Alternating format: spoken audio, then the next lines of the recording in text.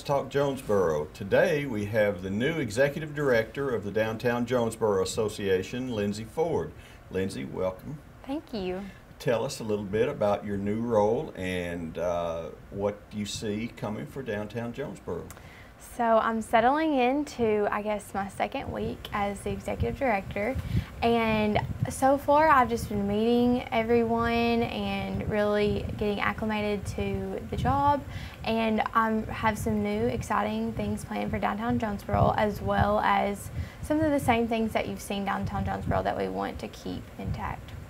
Uh, what do you, what attracted you to this job? What, what do you see that, that uh, you felt like, hey, I can really offer? Well, first of all, I love people, and so that's a huge part of this job is working with people and working with all the downtown business owners. And so I just, for me, I see so much potential downtown, and we have taken great strides in the past 10 years to come to get to where we are right now. But I can just see even so much more and um, so much more possibilities down here. You know, when I bring guests in from out of town, uh, we go in some of the different establishments, and they uh, always point out some of the architecture, the woodwork in some of our buildings, and they say, "Man, if, if our city had this, it would it would go." And I'm talking about big cities in a lot of cases. And so, uh, uh do you know people who who want to capitalize? Who are? I mean, clearly we're capitalizing in a lot of cases on that, but has, has anyone talked to you uh, already about things like that? Um, definitely. I think that that's something that downtown has to offer that you can't really get anywhere else. Yes. And even on my second, though it's my second week on the job, I've had calls from people in even different states who are actually looking in their at our downtown to bring businesses in, and they're just attracted to the buildings and the architect and what that brings. Very cool. Um, what what concerns do you have about this job? What are what are what are your priorities to address?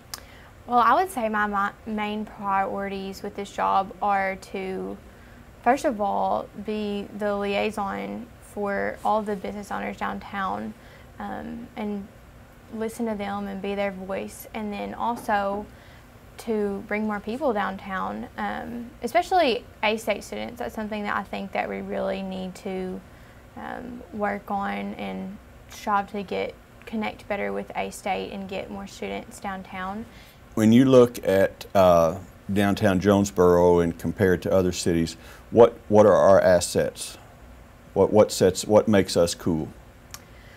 Well, I think it's kind of just like you said, just the atmosphere downtown and the architecture of the buildings and the inside, they're just unique.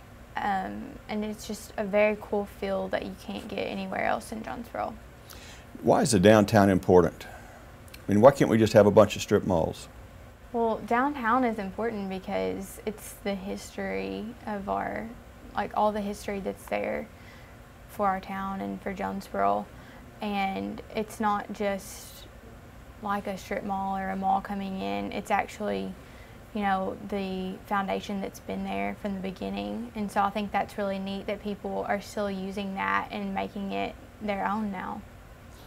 Um, uh, the city is either enforced or the police department is either enforced or is about to enforce uh, the the parking tickets. They have started. They have started that. Yes. Is, and so this is something that business owners wanted and, and felt is important to get people space to park right in front of their storefronts. Yes, sir.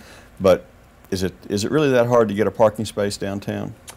Well, I think it depends on what time of the day it is, and I think it's great that they're enforcing this now just so that we have the maximum opportunities for our customers coming downtown to be able to make it the most accessible and easy for them to enter the businesses. Do you have, is it too soon to, to, to think big? Have you thought about big, big ideas yet? Well, I do have a few big ideas, but all the logistics aren't particularly um, ironed out for them. So I hate to reveal anything. You don't want to big no big reveals yet. Not too. I would hate to reveal something too soon before everything gets approved. Um, hopefully with the city and the mayor. So maybe you could put in a good word. I, I will definitely put in a good word because the mayor loves downtown and he wants to wants it to be Yes. the, the, the best downtown. But we've won awards, so our downtown is not failing by any measure. Absolutely not. We actually won more awards than any other town in Arkansas at our Main Street Arkansas um, award banquet last year. That's fabulous. And we're actually applying for more awards. Um, right now, they're due next week, and so I'm hoping to see an awesome turnout for our, downtown business owners this year again.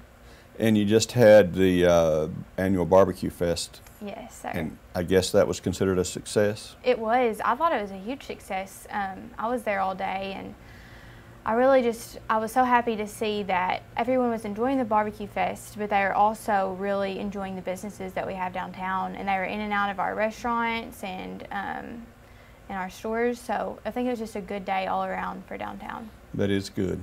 Tell us a little bit about you now, uh, Lindsey. What's your what's your background? Are you a Jonesboro girl? Well, I'm actually from Rector, um, but it's not far from here. I've been living in Jonesboro for the past four years, and I am currently an A-State student, which is kind of unique for this job. But that is very cool. Um, I graduate in December, so after that, I will be full time. But I'm in the office every second that I'm not in class, and so um, you can catch me at the office.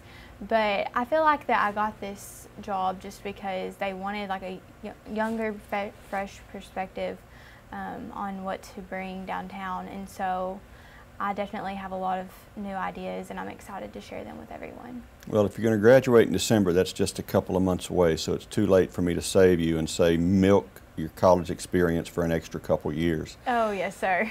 But uh, you're already in the working world, so it's too late anyway. We are way far past that. I won't even know what to do with myself in December. I'll get to sleep. You'll so. work, actually.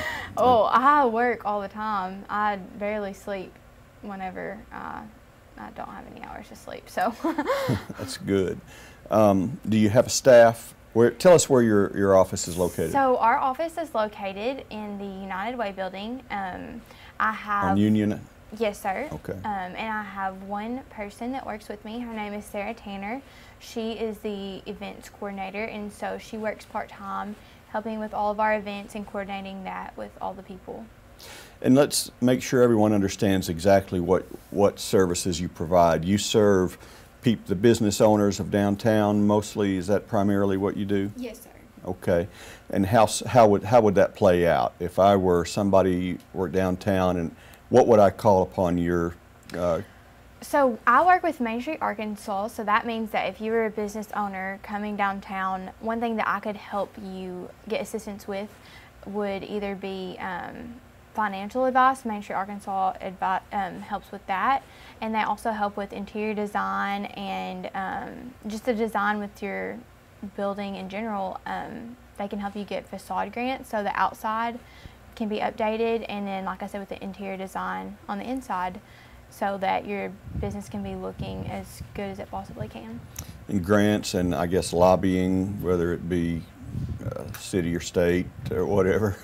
you guys uh, try to try to just work as a as a speak as a united voice uh, for for all the downtown. uh, Yes, definitely, definitely. Okay.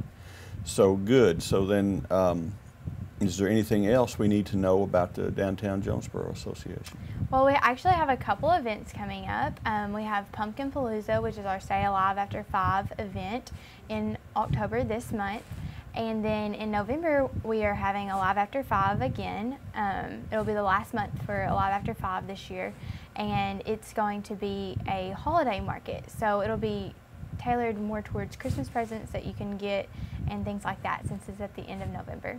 And a Live After Five happens on Huntington Avenue, Ye- yes, and it starts it. coincidentally at 5 p.m., right? correct. Or 5:01 maybe. Okay. 501. yeah. Okay. After five. Right. Yes, Very sir. nice. Very nice. Well, Lindsey, it's wonderful to have you. Lindsey Ford, Executive Director of the Downtown Jonesboro Association. Yes. Thank you for being our guest on Let's Talk Jonesboro. Thank you for having me. Thank you.